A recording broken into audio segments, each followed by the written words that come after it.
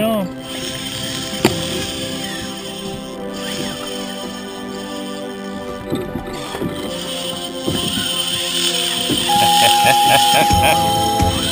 it's an angry fish.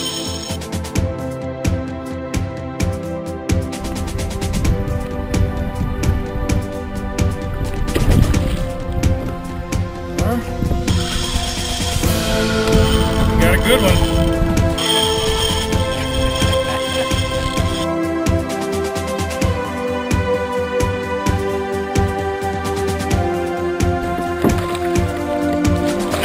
Come on, man.